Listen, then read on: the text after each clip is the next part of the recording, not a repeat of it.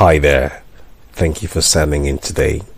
It's Q2, episode 1 Jesus wins and Satan loses. Let's get to it. At the core of God's government is free will. Meaning, God neither compels nor accepts compelled worship, whether in heaven with the angels or here with us. Instead, He has created intelligent beings capable of making intelligent decisions, knowing that with each decision or choice comes a consequence, either good or bad. However, with this free will also comes the possibility of choosing wrong. Just like Lucifer did, and the consequence was losing his place and getting sent out of heaven with a third of the angels that rebelled with him, as detailed in the book of Revelation 12.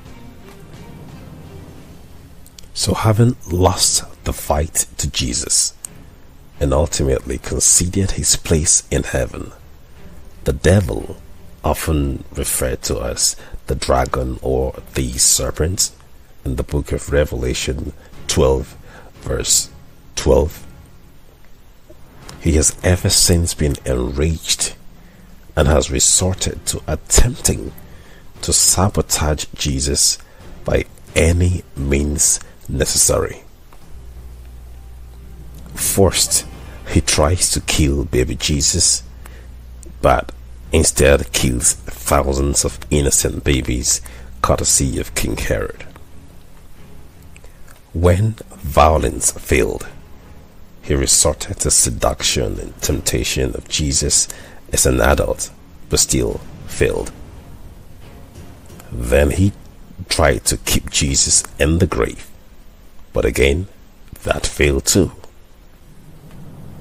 At this point, he was convinced this was a dead end. So, he jumps on the church of God, attacking and persecuting for time, times, and half a time. But that too failed. So now he is mad and he has gone after the body of Christ, those who keep the commandments of God and have the testimony of Jesus Christ. This is where the battle becomes all inclusive.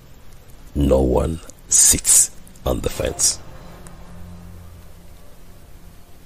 So, for all who keep the commandments of God and have the testimony of Jesus Christ, we are continually in contention with the adversary. Sometimes these contentions come in the form of persecution, sometimes temptations, and some other times they are indulgences, breeding addictions and habitual sins that we continually, on a daily, regular basis, have to struggle and contend with. Whether there be persecutions, temptations, or indulgences leading to addictions, whatever they be, we do not need to walk this walk alone anymore. The good news here is that whenever Jesus confronts Satan, Jesus always wins and Satan always loses all the time.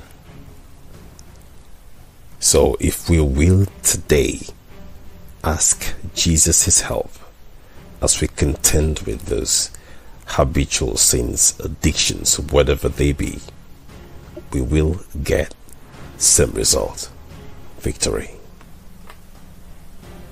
But again, God will not force Himself on you. Remember, he operates on the principle of free will.